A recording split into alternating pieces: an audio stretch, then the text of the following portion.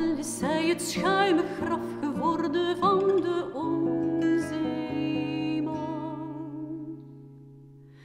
Daar houdt het op, daar vernauwt de wijsheid tot een punt waar de drenkeling verzoopt of de spijker op het